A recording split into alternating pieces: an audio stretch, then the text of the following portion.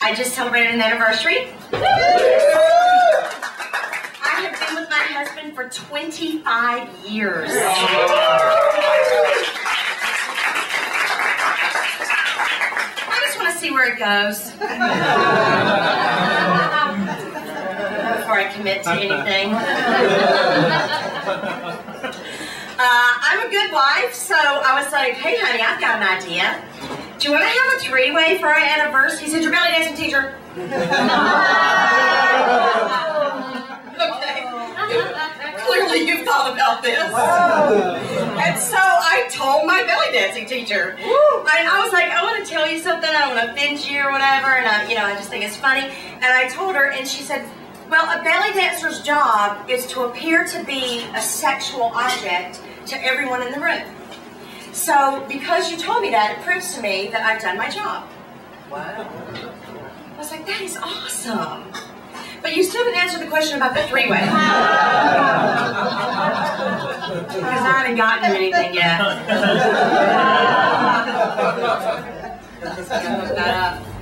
Um, we have completely different sex drives, couples have sex, different sex drives, anybody? Yeah. That- all right, so like I want to have sex twice a day. And he doesn't. So I think we should compromise and have sex twice a day. Because I'm a team player. So, uh, like 3 o'clock the other morning, that movie Ghost came on. Do you know what I'm talking about? With Patrick Swayze and Demi Moore. And it was the romantic scene. You know what I mean? The, the pottery scene. You know, she's making the pot. And he comes up behind her and embraces her. And the pot collapses. And the music's playing. And I was thinking, you know, you can totally tell from that scene that they're newlyweds. Because if they've been married a long time, she'd be like, what the fuck? I'm trying to make a pie.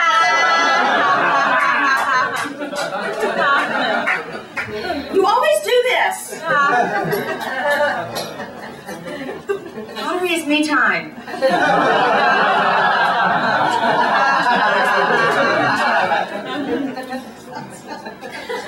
Speaking of romantic, you guys know that song, You Are So Beautiful to Me? You are so beautiful to me. You know, I was thinking, man, I bet the woman that that song was written for really gave him shit about the to me part. She's like, really, to me? you had to put a qualifier in that shit.